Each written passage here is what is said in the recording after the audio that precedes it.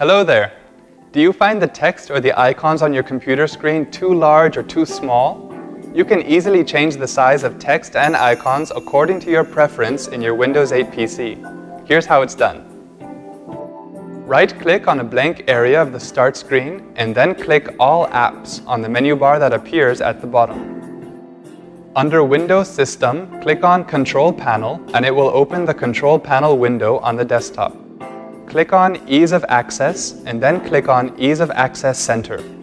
Click Make the computer easier to see. Now click on Change the size of text and icons. Choose the desired option and then click Apply.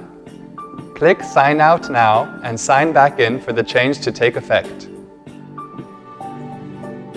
Now that was easy. For more such easy to follow tips, keep watching. And if you face issues on your PC that you need expert help with, just call iYogi. Good karma.